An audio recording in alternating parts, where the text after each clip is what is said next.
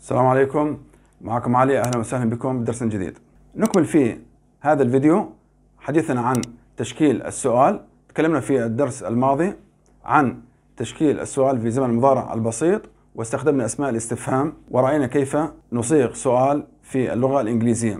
في هذا الفيديو نتابع أيضا حديثنا عن تشكيل السؤال لكن نستخدم الجملة الاستفهامية في تشكيل سؤال مع كل الأزمنة في اللغة الإنجليزية.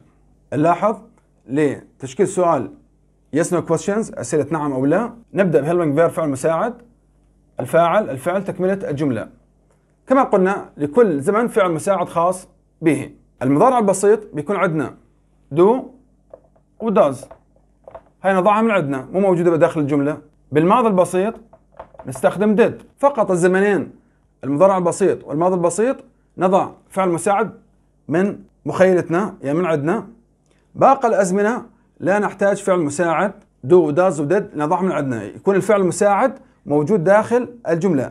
لاحظ is driving الفعل is was drive الفعل was. well الفعل well بالمستقبل. be المضارع التام أيضا موجودة has. اذا ننتبه على هذه الملاحظة. كل الازمنه لتشكيل السؤال تحتاج فعل مساعد. زمنين فقط. المضارع البسيط نستخدم do does الماضي البسيط نستخدم did نضعها من عندنا. باقي الأزمنة الفعل المساعد يكون ضمن الجملة. لاحظ أول جملة. She drives her car. إذا المضارع بسيط. بالمضارع البسيط نستخدم do أو does. الفاعل she عندنا نستخدم الفعل المساعد does. Does نضع she drive والفعل نحذف الاس her car. فقط. Does she drive her car هل تقود سيارتها؟ لاحظ استخدمنا الفعل المساعد does. ونترجم does بهل نريد أن نستخدم اسم استفهام نفس الجملة نسأل عن her car سيارتها. يعني ماذا؟ what إذا WH question. نستخدم نفس التركيب فقط نزيد اسم استفهام في بداية الجملة. what بعد يكون عندنا فعل مساعد. رجع. الدي إلى small letter. نفس الفعل المساعد does what does she drive نحذف الشيء اللي نسأل عنه. علامة استفهام question mark. What does she drive ماذا تقود؟ إذا لاحظ استخدمنا اسم الاستفهام what إذا هذا اسم استفهام. بعدين فعل مساعد does عندنا الفاعل الفعل نضع علامة استفهام. طبعا هنا لازم يكون عندنا علامة استفهام. الجملة الثانية she drove her car. قادت سيارتها. لاحظ الفعل بالماضي البسيط. عندنا نستخدم الفعل المساعد did. إذا نضع did. في بداية الجملة did الفاعل she did she رجع drove إلى المضارع drive. Did she drive أصبح did هو أو كلمة did هي تشير إلى الماضي. رجع drive إلى المضارع. لا نقول did she drove did she drive her car. Question mark. علامة استفهام. Did she drive her car? هل قادت سيارتها؟ فقط لا غير. نريد أن نستخدم اسم استفهام. نضع what كما هي. Did capital letter بس نبدأ. إحنا دائما بداية الجملة capital letter did أيضا نكتبها كما هي لكن نبدأ ب small letter ال D what did she drive? نحذف her car. لأن نسأل عنها إحنا. What did she drive ماذا تقود؟ لا نقول ماذا تقود سيارتها. إذا نحذف car تصبح what did she drive ماذا تقود؟ لاحظ الجملة الأولى إذا سألنا does she drive نجيب yes she does. إذا كان no no she doesn't. الجملة هذه إذا كان yes no question did she drive her car هل تقود سيارتها؟ yes. سألنا بدid نجاوب did yes she did no she didn't. إذا سألني باسم استفهام what does she drive ماذا تقود؟ نحذف اسم الاستفهام. نحذف الفعل المساعد نبدأ منه عند she. She drives her car. هي تقود سيارتها. لأنه WH questions نحتاج إلى إجابة مطولة. What did she drive? ماذا تقود؟ أيضا نحذف what نحذف did. نبدأ من عند. She drove her car. اذا قادت سيارتها. الجملة اللي بعدها زمن الجملة مضارع مستمر. باقي الأزمنة لا نحتاج فعل مساعد من عندنا. فعل مساعد موجود في الجملة. فقط زمنين كما قلنا. المضارع البسيط do does الماضي البسيط did. ننتبه على هذه المعلومة. أيضا نبدأ نريد أن نشكل سؤال نضع is في بداية الجملة. تصبح is she driving her car. تصبح هل تقود سيارتها now الآن is she driving her car now نريد أن نجيب is she driving الإجابة yes. لاحظ yes بس نقلب أول كلمتين. Yes she is. نعم تقود. No she isn't. فقط لا غير. كلا لا تقود. هذه إجابة قصيرة. إذا استخدمنا اسم استفهام what تصبح what أيضا ال I capital تصبح small نفس الفعل المساعد is. What is she driving نحذف her car لأنه نسأل عنها إحنا. What is she driving. ماذا تقود؟ لاحظ استخدمنا الفعل المساعد is من ضمن الجملة. بس وضعنا is في بداية الجملة قبل الفاعل. What is she driving? ماذا تقود؟ أثناء الإجابة لأنه عندنا WH questions راح تكون عندنا جملة مطولة. نحذف what لكن هنا لا نحذف is لماذا؟ لأن إذا حذفنا is يتغير شكل الزمن. ودائما باللغة الإنجليزية أو حتى بالعربي. سألني بالماضي أجاوب بالماضي. سألني بالمضارع أجاوب بالمضارع. سألني بالمستقبل أجاوب بالمستقبل. وهكذا أيضا باللغة الإنجليزية. إذا لا نحذف is كما فعلنا مع do does إذا فقط نرجع is في مكانها. تصبح she is لاحظ؟ she is driving her car. إذا what is she driving ماذا تقود؟ نرجع is مكانها. she is driving her car. كما قلنا ممكن شخص يسأل لماذا ما حذفنا is كما do does لأنه is هي من ضمن شكل الفعل بالمضارع المستمر. اللي يحب يرجع على الزمن الماضي البسيط والمضارع البسيط وباقي الأزمنة في فيديوهات أخرى تكون عنده الصورة أوضح. المضارع المستمر بيكون عندنا الفعل مؤلف من ثلاث أجزاء. مو معقول يسألني بالمضارع المستمر؟ بجاوب بهالطريقة. she driving her car واحذف is. هذا خطأ. يتغير زمن الجملة. الجملة اللي بعدها she was driving her car. كانت تقود سيارتها. لاحظ هذا نسميه إحنا past continuous. اذا ماضي مستمر. Yes no questions. فقط أضع was في بداية الجملة. تصبح was نكتبها هنا was she كما هي. لاحظ was she بس بدلناها وضعناها في بداية الجملة. Was she driving her car نضع علامة استفهام.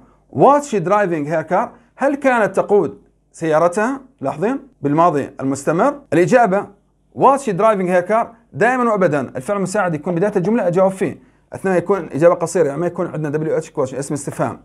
was she driving هل كانت تقود سيارتها؟ أتوقع الإجابة هل معناته الإجابة راح تكون yes أو بتكون عندنا no yes she بس ارجع مرة ثانية. yes she was no she wasn't. لاحظين؟ إذا أردت أن أسأل ب WH questions نفس الترتيب فقط أبدأ باسم استفهام. نضع what في بداية الجملة. طبعا دائما يكون capital letter what نرجع was ال W من capital من حرف كبير إلى صغير لأنه بدأنا لا نبدأ. W كبير وهنا W كبير لا. بس بداية الجملة. what was she driving يا ماذا كانت تقود؟ نحذف her car ونضع علامة استفهام. what was she driving ماذا كانت تقود؟ لاحظ هنا WH questions. نتوقع إجابة تكون مطولة. هل تعتقدون نقول what was she driving ماذا كانت تقود؟ نكتب yes she was. هذا خطأ. إذا نجاوب إجابة مطولة. إذا نحذف ال WH نرجع was كما هي. مكانها بعد الفعل. تصبح she was driving her car. كانت تقود سيارتها. فقط وضعنا was. لا نحذف was. كما فعلنا بدو داز هذا خطأ لأنه يتغير زمن الجملة. بالماضي المستمر لازم يكون عندنا was أو were هنا استخدمنا was لأنه شيء was أو were هذا الجزء الأول. drive الجزء الثاني. ing الجزء الثالث. أيضا راح تكون أثناء السؤال وأثناء الإجابة بنفس الزمن. لاحظ was جزء أول. drive جزء ثاني. ing هذا أثناء السؤال. وجملة أيضا مثبتة راح يكون أيضا ثلاث أجزاء. لأنه دائما كما قلنا الزمن نسأل به نجاوب أو نجيب به. She will drive her car. سوف تقود سيارتها. لاحظ هذا مستقبل. الفعل هو will drive. إذا أردنا yes no questions فقط نضع will في بداية الجملة. تصبح will she drive her car. Question mark. Will she drive her car. يعني هل ستقود سيارتها؟ لاحظ مستقبل.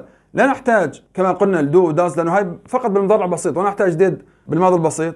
باقي الأزمنة لا نحتاج فعل مساعد كما زمن المضارع البسيط والماضي البسيط. الفعل المساعد موجود ضمن الجملة. يعني في عندنا 12 زمن 10 أزمنة لا نحتاج إلى فعل مساعد نضيفه من عندنا. فقط موجود نقلب بين الفاعل والفعل المساعد كل الأزمنة. فقط زمنين هاي اعيدها مليون مرة عشان تركز معنا فقط زمنين بالمضارع البسيط do does نضع فعل مساعد من عندنا وبالماضي البسيط نضع did باقي الأزمنة لا نحتاج لأنه موجود فعل مساعد. will she drive her car هل تقود سيارتها؟ الإجابة يس أو نو. no. أيضا نقلبهم. will she تصبح yes she will no she will not. ممكن نكتب will not نختصرها won't بهالشكل هذا. نريد أن نسأل WH questions. فقط نضع what في بداية الجملة. الفعل المساعد شو؟ هو will what will she drive? What will she drive? ماذا ستقود؟ أثناء الإجابة أيضا نحذف what.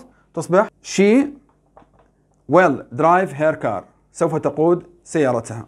الجملة الأخيرة she has driven her car. لقد قادت سيارتها. هذا نسميه present perfect. مضارع تام الفعل المساعد هو has. فقط نضع has في بداية الجملة. تصبح has she driven her car.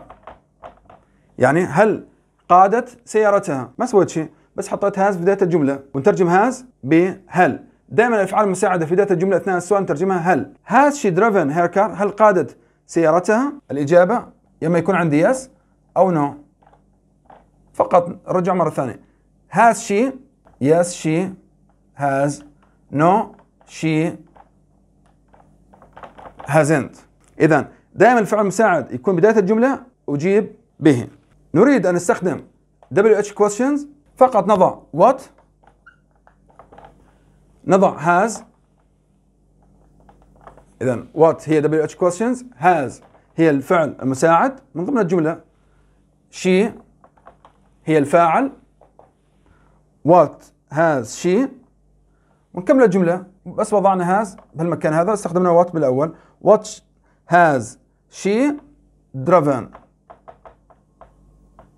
يعني what has she driven? ماذا قادت الإجابة راح تكون. أيضا نحذف what. نرجع has بهالمكان هذا تصبح she has driven her car. لقد قادت سيارتها.